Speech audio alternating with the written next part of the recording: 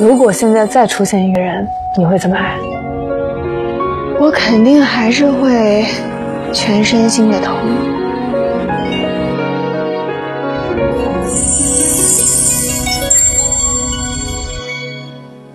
拎包结婚？对啊，我觉得只要我们住进去了，是我们的家，那就是最好的。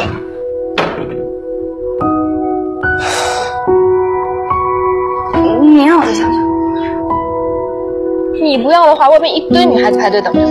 别再犹豫了，下次人家给你求婚，就答应吧。咱家的具体情况就是你们得抓紧时间要二胎。人家跟我们就不是一个圈子的，你这么使劲往上贴，不累吗？累个鱼呗，不累。你要是想做我男朋友呢，我们就国金逛逛。你要是愿意做我普通朋友啊，咱们就黄浦江边溜达溜达。我接，算了吧，我舍不得。我接受不了，不能够感情用事啊。那但凡只要是人就会讲感情吗？但公司只讲效益啊。行，我也被裁员了，其实。我努力。是我努力。我们公司产品是针对九零后，你的年龄对我们来说太老了。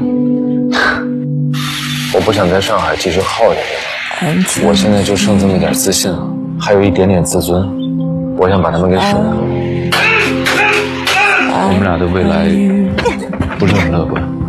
你对我很失望。我对我自己很失望。我一边上班，我一边带孩子，我还怎么尽孝？过了三十三，就是三十四，我这辈子 肯定也就是这样了吧。年龄可不是问题。多少人能爱慕你年轻时的容颜？可有谁能在乎岁月无情的变迁？不管怎么样，我是真心爱你。我也是真心爱你。我们一起敬未来。